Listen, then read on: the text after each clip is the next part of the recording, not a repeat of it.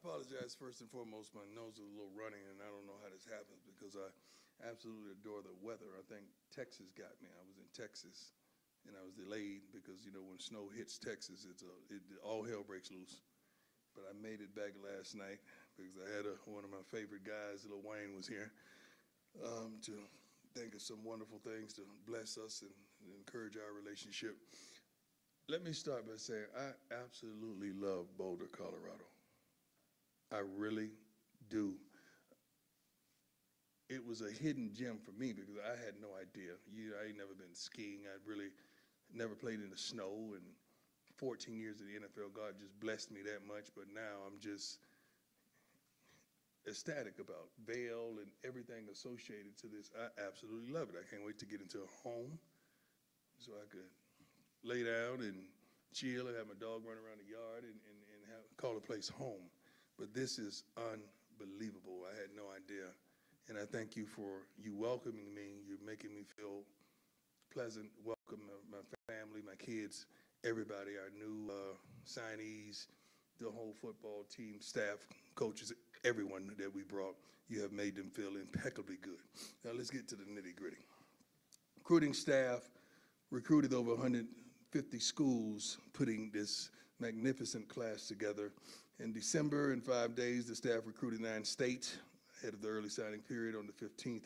Um, in January, in 10 days, the staff visited 19 states. Um, junior day this past weekend was phenomenal. When I tell you that I could still see some of the parents' faces and the kids and uh, how excited they were when they walked around the complex, when they got to sit down with the coaches, when they articulated their dream and their vision with me. And uh, we're going to have some commits that you're going to hear later on about that 24 class. But it was a phenomenal day. I mean, uh, 67 recruits from 24, 25, 26, and 27 over the two days. The recruits visited from 15 states, and they um, balled. I'm sure some of you done reports on them, three and four stars, even though I don't give a darn about a star. These kids can flat out play, and they uh, are who we think they are. Um, signing class newcomers, 42 new scholarship players to date, which is incredible. 29 are already in, in already enrolled in the spring. Um, six new walk-ons. Uh, one played for me in high school, and he, I can't wait to see how he comes about. He's phenomenal. Um, there are 35 newcomers on the spring football roster, um, six spring walk-ons, 47 newcomers in 2023 to date. Um, newcomers from 16 different states and two countries, which is awesome. 16 states uh, is the most in CU's history. 13 and uh, way back in 78 when I had hair, a lot of hair, full head of hair. Um, 18 different territories. That sounds really good. Good job. I mean, it sounds really good. You did a great job. A great job. Can you give him a clap? Good job. You did a good job. You're making this stuff sound incredible. Okay, I like it. Almost uh, 14 in 1978. This is the first season since 78 that the most players didn't come from California, Colorado, Texas, Florida is in the lead with seven players, and I plan on doubling that. I love my Florida boys. I know what they're going to give me. I know who they are. I know how they was raised. And uh, we have tremendous relationships bringing those kids from Florida. Once they realize it ain't that cold, it's going to be all good for my Florida boys. Uh, class of signees, Florida seven and Georgia four in uh, CU history. Class rankings, they said, guess what number we are ranked? 21. God is something else. And it 21 ranking overall, best in 15 seasons, number four ranking for transfers, easily the best in CU's history, only the second in the top 40. With Cormani and Travis, first time CU signed two five-star players in the same class, same position, by the way, and both of them are dogs. I can't wait to see them play together of seven other four-star recruits in this class, the more, most four-star recruits in the class in CU history, and nine four or five-star recruits in the program the best. CU is the only school in 2023 to sign a five-star recruit from high school and the, and the transfer portal, which is phenomenal. Um, yeah. Okay, the other topics, black and gold day, spring football games. Uh, we start practice March 19th. Four practices that week. We're going to be off the following week due to spring break. I really hate practicing then having spring break because they forget every darn thing they you taught them. Okay, then uh, the game is part of a Black and Gold Day on April 22nd that kicks off at 1 p.m. Now to coaching staff.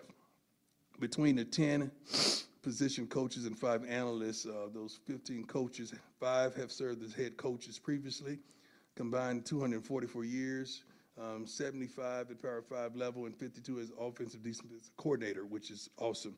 Uh, been a part of 49 10 win seasons. That means these guys know what they're doing. Okay? They told me to stay away from a couple things, but I would stay away from those, and the rest is on you. That was awesome. All right, we'll open up for questions, and uh, for your first question, please introduce yourself to coach again. Okay, kind of shy away from names. Um, um, I'm not familiar with everyone's name. All the players' names, I'm, I'm not. I'm not going to pretend I am. I will give them nicknames when it's appropriate, and I will call them by their names. So we got names on the back of their shirts right now, but I'm not familiar with every kid, just to help you out. And I'm not being disrespectful. I'm just being honest. Adam Munsterteiger from 24/7 Sports. This is one name I think you're familiar with, Dylan Edwards. He Yes. mentioned that you've known him since he was very little. The fact that he was your first 2023 high school commit, and the fact you've known him so long, did that kind of make that a little extra special? Yes, it, it made it special because I had a tremendous relationship with his parents. Um, coach Andre Hart, a linebacker coach, Coach Kevin Mathis, who've coached with me from youth all the way up. We've coached that kid since he was, I think, five or six years old. So, and his his uh, siblings.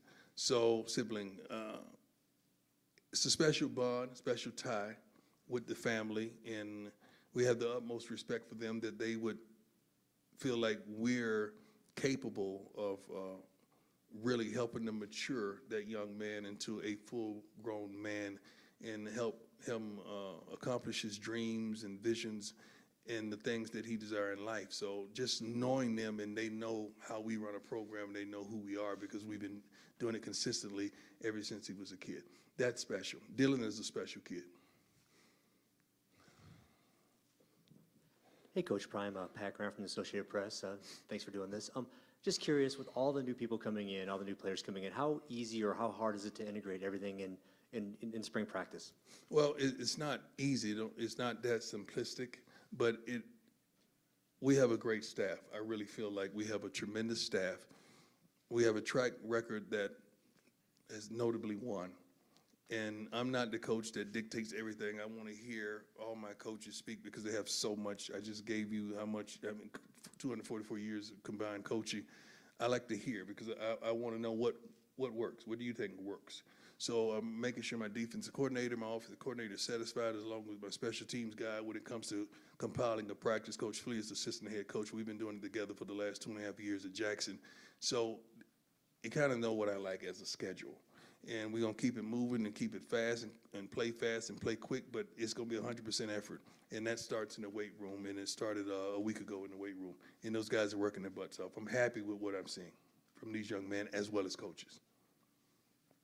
Coach Brian Howell from the Boulder Daily. My Camera. man, Uh, you, you obviously played cornerback, so you know the value of that position. But Mm-hmm. the, the quarterbacks in the Pac-12 are going to be tremendous next year, and you guys now have Travis Hunter, Cormani McClain. Mm-hmm. Can you talk about why that was such a, a big priority for you to make sure you got elite corners in this conference? I'm not just going to say this conference, uh, you need elite corners and elite pass rushers from anywhere. A lot of coaches build inside out. Um, I build both ways. Um, I build outside in when I'm thinking defensively. Okay, we're gonna think the pass rush, the corners, the pass rushers. Let's go get it. Okay, now let's go get the big boys to make sure they stabilize and control the run game. But when you're able to attain a couple guys of that caliber, not only guys that are really good corner, but they make plays on the ball. Both of those guys have tremendous receiver ability and capability, and some of the other guys that we brought in, and some of the guys we're bringing in, we're not done. This is just a, a pause. This is just a comma, because there's a lot of people that's going to bungee jump in that portal after spring because they're going to be disappointed in the playing time and the commitment or the level of participation that they're garnishing, and we're going to take advantage of that. So we're not done. This is just a comma for spring but I love where we are and what we have. I love the secondary for what I see on paper. Joe Rico, Mile High Sports Radio, uh, the final word. How often do you players, you know, ask you to reflect on your experiences in the game? Obviously, you're a Hall of Fame corner at the college and pro level. How how often does that affect the recruits? Because I know, you know, speaking for myself, I think it would have a big impact, the fact that you've had such success in the game. I don't think, when we're recruiting, they ask me to reflect on the game. They ask me to reflect on life. And they ask real, true questions. You got to understand, the kid is a young child. He don't remember me. I was, I was, I was, I'm an old school guy. I'm an old one, you know. Their parents do.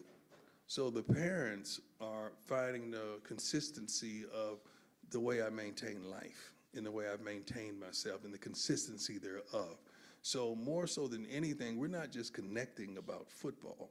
We're connecting about life and navigating that kid through life. Because, you know, if, if, if most of you've been to college, you know, shoot, from 17 to 21, that's a lot happens. And if you don't have a, proper navigation system, you're gonna find yourself on the side of the road, distraught and saddened and hurt. And for us to be able to be there for those kids, but to keep them from going the wrong way or taking a left when they should have stayed right, that's tremendous. And that's who we are and that's what we're about. The game will take care of itself if they got the skill level. But the game of life don't play. It plays for keeps. Yeah. Right here, Mark Kiszla, Denver Post. This program's gone from, I- in my opinion, after. Hold on, my AD just walked in. Everybody sit up. Everybody sit up right there. Uh, How you doing, sir? Yeah, I'm, I'm, I'm behaving. I'm doing pretty good today. Yes, sir. I'm sorry. No worries, that, that's the boss. So, uh, this program's gone from a uh, afterthought, in my opinion, to the, you've, you've put the we come in X on its chest. Mm-hmm. How much is, how much do you embrace that? How much have players embraced that? And how much is attitude I, turning I around don't, this I don't program? know what an X on your chest mean. The last man I know did that was Malcolm. You know, I don't, I don't know what that means. I mean, that's who we are. That's how we move. That's how we go about our business. And I'm coming comes from Constance Schwartz over there, um, Coach Ray and Rick. I was sitting in a restaurant in Jackson, and God said, "Now." I picked up the phone. I called Constance. I called Ray. I said, please get uh, Rick on the phone. Rick got on the phone and I said, I'm coming. That's where that came from. that's that's truly where that came from. And he thought it was getting ready to say something else, but I, was coming. He, he said he was prepared for the worst. Said, no, you can prepare for the best, baby. I'm coming. So that's who we are. That's what we are. I hear it all the time. Every time I take a picture with a, one, of, one of the mothers that the kids, she said, "I brought my Louis." So that I mean, that's just hilarious to me because they're listening to those things. But we embody that. We're training now in that weight room because we're coming. Our coaches up there pre- preparing practice scripts and game plans because they're coming. I mean, these kids are. We're recruiting our butts off. We're not recruiting just no ordinary Tom, Dick, and Harry. Uh, we, we recruiting some guys that can light up that scoreboard and prevent touchdowns from occurring. We're coming, and we're serious about that. Coach Prime? Yes, sir. Uh, Voice of the Buffs, Mark Johnson. Love that hat, man. I'm gonna wear one just like it tonight at the little thing that we have, and I got a nice one too. I I look forward to it. Yeah. I want to see it. Hey, You know, off the top, you talked about how much you love Boulder. Yes. And how you come to love this place. Uh, You know what the history is here. You you know what you've done in your past. But I'm wondering, when you put a class like this together, well, what are you presenting to the kids? What What are you selling to? What's the pitch I, when you I when you talk I to them? don't sell nothing. That's the thing. It is what it is. Um, one of the first things I say, if you're here for NIL or be rich, uh, we're not the school for you. But if you're here to become a man, uh, get a degree, a tremendous education, and grow, win, and uh, go pro, possibly if you do all the correct things, we are. So we're not here for the NIL, we're here for the NFL, and we're here to make you a man. But we don't have anything for sale. I'm not selling, hey, you're gonna be, I'm, I'm not, we don't do that. We're so honest and so genuine and so real with these kids and their parents, and I think they embrace that, they embody that, they understand that there's authenticity there. Any question that they could uh, ask, a kid just asked me, um, about playing both sides of the ball. I said, yeah, if you dominate on one side, I'd be a fool to put you on both sides. You average, that makes me look stupid. You got to dominate on both sides of the ball. And I say, by the way, who else is going to let you do that? Who else have the capability to understand that besides me? I say, just ponder, just keep that in your mind when you go visit places. I don't talk about any other school. I ain't got time for that because I'm so engulfed in what we do. But when you make those comments, who else has the possibility? And the city sells itself. We don't have to sell it. You look at the darn windows and see those mountains, it's a wrap. I mean, this is over. Like, I mean, the city is beautiful, uh, virtually crime-free. Everybody's been pleasant, everybody's been wonderful, everybody's been energetic and ecstatic about the potential of what we're putting together. You see it. You, you see we coming. You, you, you, you, we can't wait and we're anticipating it, but you know what we're putting together. We're coming. Hey, Coach, uh, Brandon Krisztal from KOA Radio. Kind of piggybacking on that Yes. theme, I know you expected that your first class might look like this, but in six weeks to put together a class with this type of recruiting, Mm-hmm. wh- whatever the, you know, the uh, enthusiasm around it and the rankings, are you pleasantly surprised that it came together so quickly and kind of maybe putting the rest of college football, I don't say on notice, No, but letting not. them know what you could do in such short time? How would we be surprised about success? That means we really didn't expect success if we're surprised about success. We expect success. We expect to go get that kid. The only thing could keep that kid from coming, bless you. The only thing that could keep, keep that, you see how I got back focused? You see how I locked in and went there? The only thing to keep that kid from coming and signing with us is a bag. Someone paying them, the collectives or whatever, and and that's it. And, and just out kicking the coverage. That that that's it. Because the coaching staff, um, the atmosphere, the city, uh, the publicity, the structure, the discipline, um, the academics, the graduation rate, uh, the food in the cafeteria. I could keep going because this thing is getting good. Just just everything. It's hard to say no. It really is. And I put myself in that same situation, like, because I want to know and I, and I got to feel what those parents are feeling because I'm a parent. And one thing I do tell the parents as well is I've sat in all three seats. They say, well, what do you mean by that, Coach Prime? I said, I've been the player and the kid that was being recruited. I've been the parent sitting right by the kid that's being recruited. Now I'm the coach, recruiting the darn kid. So, Mama, I know what you're feeling. I know, I know we got to get the cafeteria right. We got to make sure your baby eats right properly three times a day. I know the living, um, the housing and the dorms got to be impeccable because you want your baby in a safe environment. I know those things. Now, we going to take care of that. The rest is on him. He has to play and earn it. I can't help him do that. Earn it. That's on him. But I could give him the navigational system to go get it. And that's one thing that we're doing. And our coaches have done a wonderful job. They've been embraced tremendously all around the country when they're going in to uh, recruit these various states, these various schools, and these various cities. The reception has been re- tremendous. And we, um, we're just trying to focus on the things that we do right and eliminate the things that we're not doing right. That's the secret. Tony Gorman, Colorado Public Radio.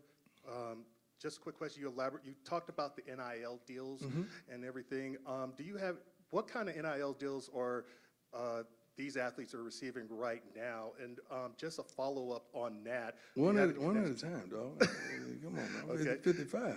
Yeah. um, The, I like, one at, yeah, one at a time. The NIL deals, I, I don't know what all deals they're receiving. I, I have no idea. I know I, we have a department for that that's doing a phenomenal job, and they're out doing some wonderful things. Our alumni, our donors, our boosters, or whatever you may call them, uh, are all taking notice, and they want to compete. They don't not only want want to compete, they want to win. So they understand we're not just trying to make a kid rich. We're just trying to make sure he don't have uh, his needs are met. We want to ensure that their needs are met on campus while they're a student, a collegiate athlete here. Okay, and to follow up th- with that, um, most of your recruits, uh, through your 40, 40, 20 uh, recruiting strategy, most of them are coming from out of state. How do you plan to re- recruit more in-state uh, athletes as well as keep the ones that are coming in from out of state? Um, we, we, we recruit in-state athletes. We really do. We can't force them to say yes. We want them to say yes. Uh, we're getting ready to have another walk-on tryout as well for a lot of players in, they have to be in the system, in, in this uh, school. And we're going to have uh, another uh, camp at the end, of- we have several camps at the end of the season that we're playing. But we would love to attain all the talent that's in state. That's our goal, to be dominant in state. If a kid can play. We want him. We want him at this institution playing football for us. But we want him to be able to play, not just recruit him just because he's in state. He's got to be able to contribute and be dominant. Thank you, sir. Hi, Coach. How you Edward. doing? Good, how are you? Nikki Edwards, CU Sports Report. Your success has been reached due to the staff you have around you. Yes. How would you kind of say some words about them and the work that they've done in the past They're, two they're months? unbelievable. They're incredible. The recruiting coordinators on down, from Corey to, to, to Coach Ray, who's here, to uh, Rick sat in there on a, on a, a couple, few families, several families the other day, um, and did a phenomenal job. So everybody's contributing. I mean, when you walk around this beautiful complex and it's impeccably clean, so you got to give credit to the custodians. I mean, when you're seeing the different things attached and associated, uh, I think we had a dinner in here, and uh, the, the serving lines was great. The food was great. It was unbelievable. So everyone is playing their role, and they're doing a phenomenal job. And, uh, and I love it. I absolutely love it. We have a commitment. I wish you could see it. I wish you could see us recruit. We have a commitment to excellence, and it's and it's working, and we're winning. We're ecstatic about the potential, and we're just getting started. Hey, Coach. Uh, Tony Casolo, Buffalo's Wire. Um, You talked about the, not only the seven players you signed from Florida this cycle, but the need to continue Yeah. to recruit that state. Can you talk about the work that went in, you and your staff, opening up that pipeline that maybe CU hasn't had in the past? Well, I'm from Florida. and Coach Ray's from Florida. Again, Coach Flea's from Florida. Who else on the staff from Florida? Ray? Is that it? That's it. We got three uh, young men. Coach Brewster is recruited Florida. He was coach at the University of Florida um, a couple years back. Um, we all have ties uh, some way and another to Florida, and I love my Florida boys. Uh, it, it's just something about them that I adore. I think if you track down every successful team in uh, college football, you're going to track down some Florida boys that are making a tremendous difference. Not saying that the Georgia boys they make a difference as well. Uh, the Texas boys make a difference as well. Uh, we want the Colorado boys to make a darn difference tremendously, and they will. So wherever the talent is, we're gonna go get it. We've just been attracted to our Floridians because we have uh, relationships that afford us to do so, which is tremendous. Originally, Travis was a Florida boy. I don't know if you knew that. Florida boy. That's how all that started. Being a Florida boy. Hey, Coach, Jake Schwanitz, DNVR Sports. How you doing? Um, Bless well, you. how are you? Uh, With Dylan Edwards, how do you see him fitting into your offense alongside Kavosiey Smoke, and do you expect a big role for Edwards Uh, with? Dylan Edwards, I, I got to see him on the field. You know, I've seen him in high school. I got to see him get down. I expect some wonderful things. And I do know he's a competitor. I do know um, what I've seen him accomplish in that uh, Under Armour All-American game was tremendous, and his practice tape leading up to that was tremendous. We got to see him compete. Once we see them compete, then we can assess the talent and figure out how to best use him to make sure he's successful. That's on us. That's on our OC. That's on uh, running back coach, receivers coach. Dylan is a little hybrid. He he, he does a, quite a bit, but he's explosive, and we like those explosive players that could change the, the game um, quickly. Hey, Coach. Jimmy Searfoss here, 247 Sports. You've only been here for a little bit, and you've Yeah. changed everything from the way things are cooked. I mean, where do you seen the biggest change in the way this program is run? Our, our attitude, attitudes, um, our attitudes. Everyone in this building has a commitment to excellence. Everyone in this building is on 10. Everyone in this building is like you're getting in the blocks and you saying on your mark. They're on their mark, get set, now they're ready to go. Everyone has a different pep and a step uh, about them. Everyone, they see it. They see that, you know, it can really happen. Um, hope has been uh, reestablished, I, I, I truly believe. I think it's been there, but sometimes you just need, need to, to light that switch of hope. And uh, hope is in the house, hope is in the air, hope is in the city, hope is in the community, hope is in, in- within you all. And you want you want to write good stuff, man. You don't want to write bad stuff. You want to write good stuff. You know, you want to type good stuff. You don't write anymore. She, she's writing, but you want to type good stuff nowadays. I ain't nothing wrong with you, girl. You you do your thing, baby. So we we we we love it, and uh, they've had it. You just had to reestablish it. This place is unbelievable. I think you see that, uh, and and I believe that. It, it's not even work to me. This is pure joy. To get up and come to pure joy every day and smiling faces from the cafeteria all the way, walking on the floors when you're getting on the elevator with different um, persons. That one of my most enjoyable moments is in the cafeteria and seeing the other sports um, uh, participants, the players, the students eat, dine, and uh, sit together. And it, it that's one of my most enjoyable moments because I get to see everybody. And I, you know, when I go to a game with somebody, I can see them. And I, I even went to the lacrosse game this week. I couldn't stay long because we had some heck of recruits in the house. But that was beautiful. Uh, and I actually picked up a stick and, and, and threw the ball. I should have got into lacrosse like Jim Brown. I, I would think I'd have been nice with it. A brother with a stick, ooh, that's something, ain't it? We got time for just one or two more. Vic, go ahead. Hey, Coach, uh, Vic Lombardi here, Altitude Sports. I know you uh, value speed. yes. How much did you recruit speed? How fast is this team? Mm. And will you use pace to your advantage playing at altitude? I forgot half the stuff you said. Okay, let me go through the first part. The speed, um, attributes: smart, tough, fast, discipline with character. Smart, tough, fast, discipline with character. Fast is definitely an attribute we recruit. Um, that does not just mean fast and speed. That means understand this playbook fast. That means comprehend decisions that you need to make fast. That means get your homework done or your assignments or whatever is your expectation is fast. If you get hurt, get your butt in the training room and heal and take care of your injuries fast. We just want you to grow and mature, uh, make the proper decisions fast. So fast is definitely an attribute, but it's not all attained to being on the field. We want fast young men off the field as well, able to uh, adapt to this environment real fast. What was part two of that? There you go. Well, we, we, we're coming, we're coming. We, we share that, we share that. We got one more. Yeah, Coach, uh, I think 29 of these uh, scholarship guys are going to be here this, or they are here this spring. How big of a deal is that for you as you guys It's are trying to huge. build this, to have those guys here? That's huge, um, because these guys were recruited with a purpose. Our handprints are all over them. We, we feel like those are the guys that we, we wanted and we went and got, we secured. Now we need to see um, everything that we de- desire to see. And a lot of these kids have tremendous opportunities because there's no penciled in starters, you know, pretty much. And pretty, you darn well know Travis and some of the other guys, they start. Let's, don't get that confused. We don't need to be politically correct when there's a dog in the house, okay? But some of these guys have an opportunity to show us what they got. And I love it. That's what spring is for. Now we could assess the talent and make the proper uh, adjustments uh, from the portal shortly thereafter. And I love that because there's going to be a lot of talent in the portal shortly thereafter to garnish. And we live by it. 40, 40, 20, you know that.